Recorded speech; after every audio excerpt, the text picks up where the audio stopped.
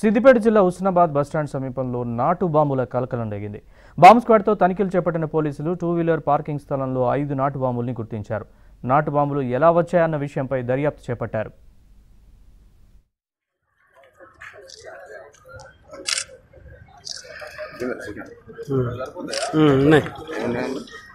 బాంబులు.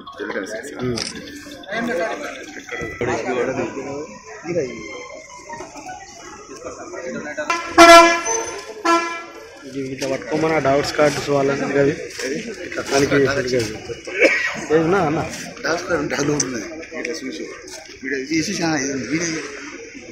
ఇట్లా పట్టుకొని తీయాలి. ఇట్లా ఇట్లా అనమా- పోతే పోతే ఇప్పుడు ఇది ఇంకేం పట్టుకొని పోతాడు ఇది.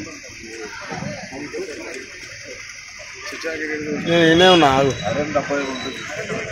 ఎట్లా? దాన్ని మార్చిపెట్టు.